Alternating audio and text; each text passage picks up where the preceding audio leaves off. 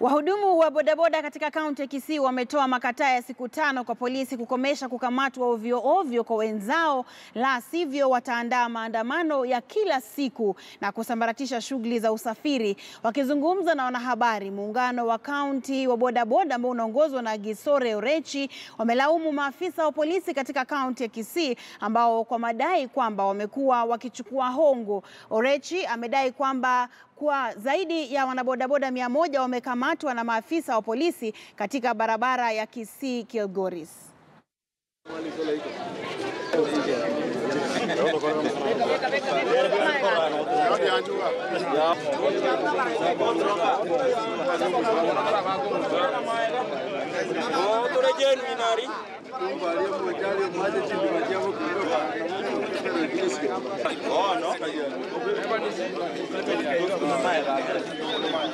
Na pikipiki zinashikwa ovyo ovyo kama panya.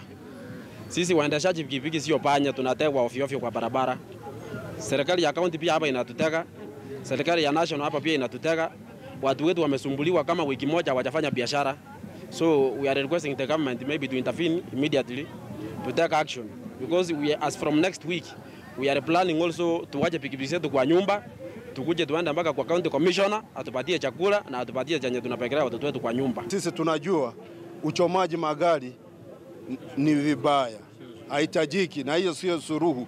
Suruhu ni kuketi chini na kuongea ajali imetokea vipi, imeonekana vipi. Tuko na matraffic ambao wanahusika na maajali. Sisi kazi yetu okoa, mwenye ameumia mchukua hospitalini. Mi naomba wana, wana bodaboda wote katika kaunti ya Kisii wasichukue sheria mkononi kuadhibu mwenye gari ama mmekosana kuadhibika. Ni heri tuwe na heshima. Sisi ni watu wazima, tuko na mafamilia.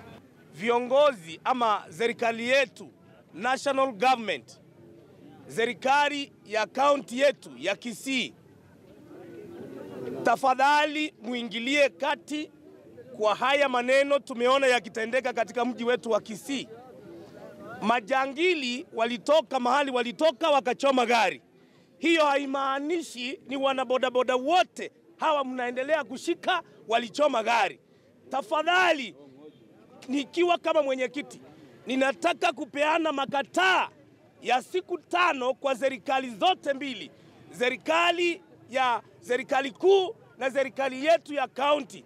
Kama haya maneno ya kukamatwa kamatwa ovyo ovyo ya pikipiki hayatakoma, ninaenda kuita maandamano katika kaunti nzima ya Kisii, kwa sababu siwezi nyamaza siwezi nyamaza watu wangu wakiumia.